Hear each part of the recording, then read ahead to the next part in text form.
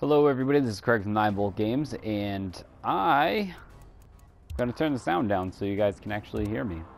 Let's do that, huh?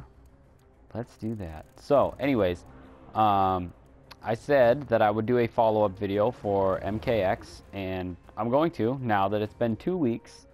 So you know what that means. Two weeks you wait for a server. And, uh, the server is, you know, it's better than Mortal Kombat 9 to me. This, here's one bad point. Ready?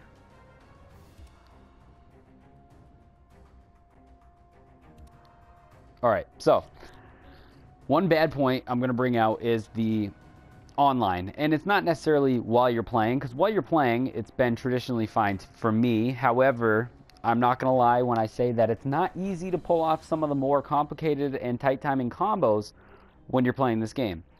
And that's simply because there is a little bit of lag in the game. And I've had some lag that's been so atrocious that it's been frozen on my character's face during an x ray. And we're all in the fucking King of the Hill just talking. But that being said, there are a couple nights where I've had a full room of King of the Hill, no bit of lag whatsoever, until we get that one person who comes in with the shitty connection. They end up leaving anyways, because we would berate them until they're gone. Um, so, they got some work to do on this, uh, on this server.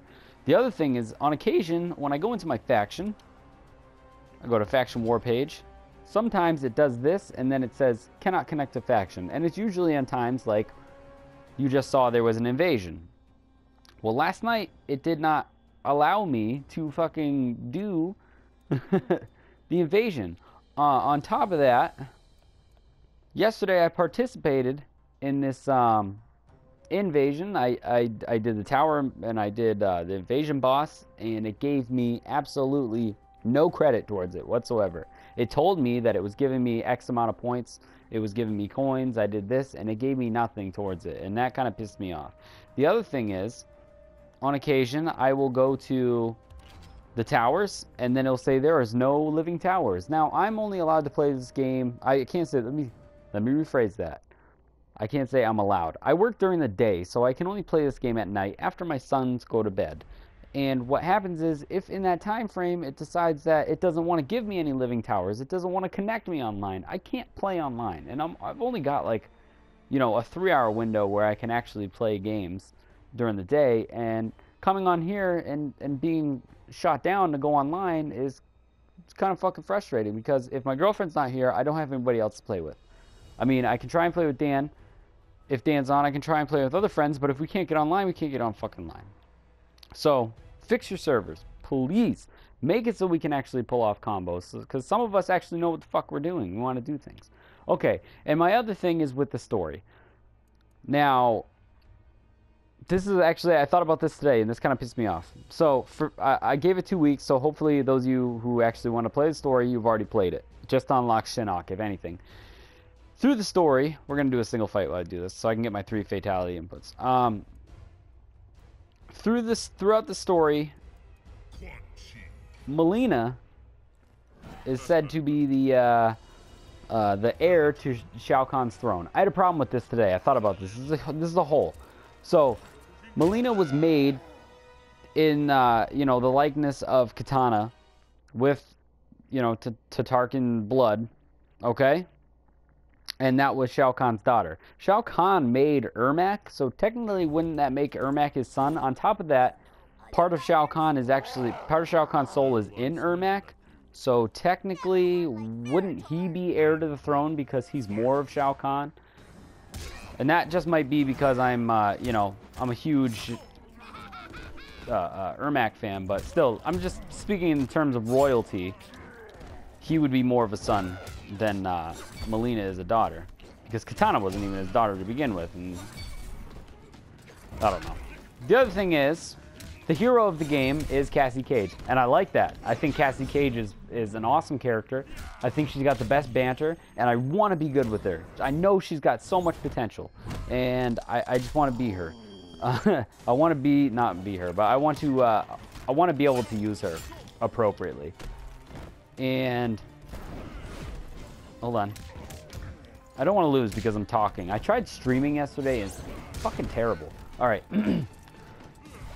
what happened is with these new characters, Cassie Cage, Jacqueline, Takeda, Kung Jin, they barely touched on these characters that they wanted to force down your throat. And that's okay because like I said, they're good characters. I think Kung Jin is an awesome fucking character and I think I think we're gonna see a lot of good things with Kung Jin. A lot of pros like to play Takeda too. Why does he have all this armor when I keep hitting him? If anybody could explain that. Alright.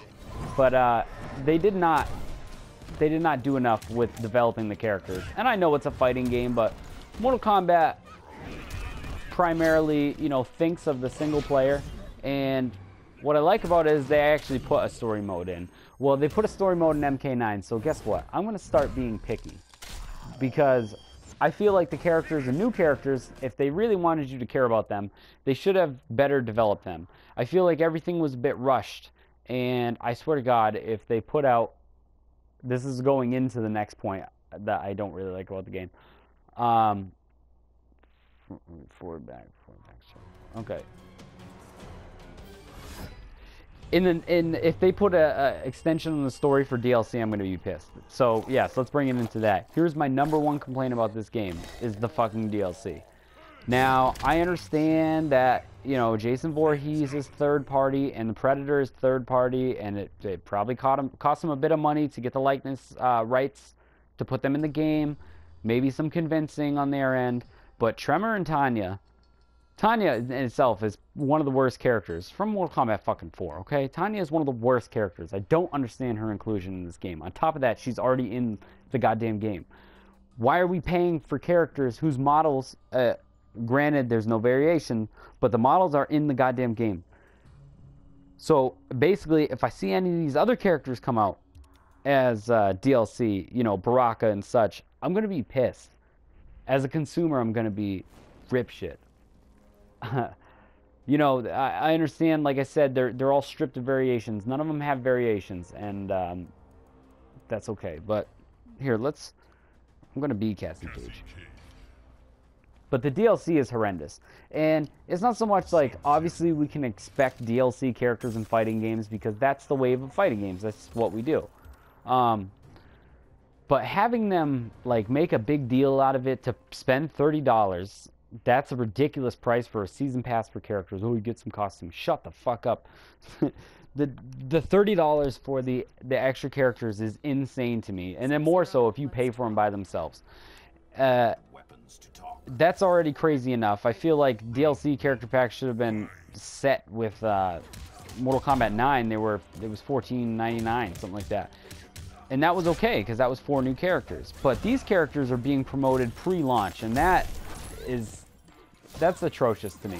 You should be bringing up more hype about these new characters that you put in the game that you didn't develop properly in the story mode, than worrying about, oh my god, Jason Voorhees is coming, give us an extra $30 on top of the 60 that we're already asking you to pay for characters that we ain't really going to show you shit about. So, I mean, it's I threw that X-ray. I didn't even need to. It's it's kind of offensive to me, and I, I understand that DLC is the wave of the future because guess what? People will buy it. Am I gonna buy the combat pack? No. Did I get the combat pack with my game? Thought about it. Changed my mind. I I don't want to spend thirty dollars on on four characters, and one of which I don't really care about. I don't want to play as Tanya. Um, I do want Predator and I do want Jason, and I think those are the only two that I'll download. And then when the complete edition comes out with Mortal Kombat, I always buy those anyways, so I'll, I'll get that when it comes out. But I'm not gonna go ahead and, and endorse this fucking combat pack bullshit. And then the easy fatalities. Here's one thing I'll say about easy fatalities is, oops, if you're buying them because you can't do the already easy fatalities in this game, you're a dumb dumb. That is, uh, Easy Fatalities is the horse armor. yeah, from Oblivion. Is the horse armor. You don't need to buy it. Please don't buy it. I want them to take that shit down and be like, you know what, maybe this is a bad idea. Oh! Selfie. But yeah, they, they are really promoting the shit out of the DLC. And you know what, guys? When it comes to the characters, like, really think about if you want the characters or not. And who you actually want, if you want all the characters. Because there's three variations of every character. And there's so much tech to learn with every character that I mean, unless you just want to go online and, and play with friends who don't take the game seriously, I can see if you want to have those characters, but I can't I can't see justifying spending thirty dollars on it. But if you actually are serious about being competitive in this game, I don't see why you would need to buy them right away because there's so much shit for you to learn. And there's so much shit for you to do, and there's so much shit for you to unlock in the crypt. Do not spend that $20. That's another ridiculous thing. The crypt is one of the, the great things of Mortal Kombat since the crypt's induction in the 3D game. Like, why are you going to pay $20 to have that unlocked? I understand maybe you want all the costumes and stuff, but that's the fun metagame. Go online. Look where the things that you want are hidden. Go through and find them and unlock them by earning your coins. You know? Don't pay for that. Don't pay for this frivolous shit that they don't need to have up there. Like the Blue Steel Sub Zero. Available now. You gonna buy it? No. Wait for the fucking complete edition. Don't allow companies to do this shit by buying into it. Ugh.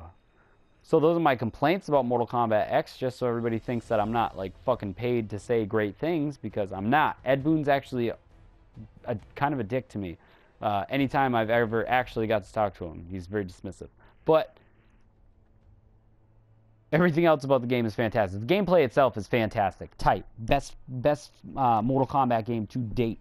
Um, and the roster as it is without all the DLC is fucking fantastic, and I like it, and I like the new characters, and I think they did a great job with it. Just not with the story mode, not with this ridiculous DLC, and fix your fucking online. Thank you for watching.